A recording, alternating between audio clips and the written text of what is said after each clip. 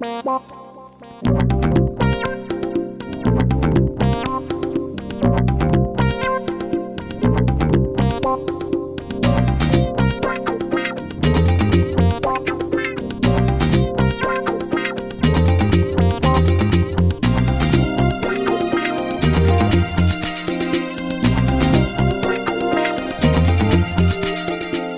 all these gorgeous people here tonight are coming in looking like movie stars. In the event, though, during the course of the evening, they need a little touch up.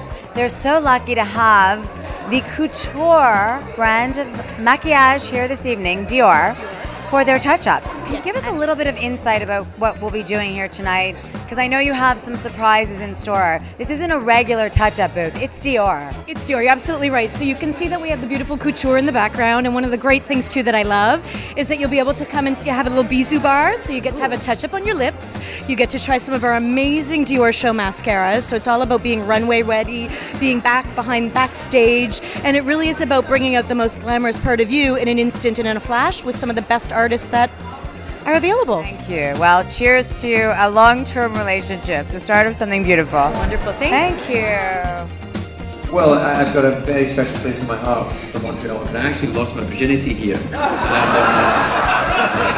sadly for me, I was 28 at the time.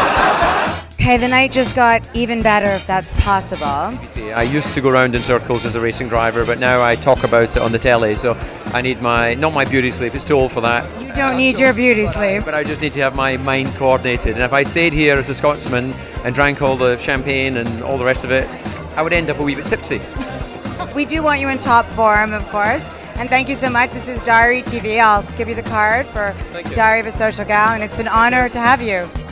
Steve Lapierre, Steve with two E's, is one of the top marketing maestros over at Holt Renfrew and Ogilvy. Can you tell us a little bit about this installation, Steve? This is our idea interpretation of the Grand Prix. It's the first co-branding of Ogilvy and Holt Renfrew. So you have the magenta Wow. flowers, and then you have the Ogilvy. We call them Highlanders. Well, I think this is actually a all kidding aside, this is a historic moment. And you throw in a little Diary of a Social Gal, and what do you have? A Montreal sandwich. Exactly.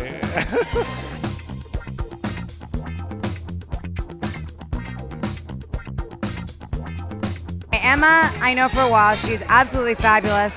And she has helped create and launch and nurture the biggest, most popular men's portal in the world, correct? Right out of Montreal. Correct. Yes. Remarkable, astounding. Now, most importantly, how are you enjoying tonight's festivities at the Ritz? Oh, it's fantastic. I mean, in Moet, Infiniti, the Ritz. What more can you ask? Excuse me, and AskMen.com. And AskMen.com. Yes. Wait, wait, wait, wait. Diary of a Social Gal. Uh, yeah.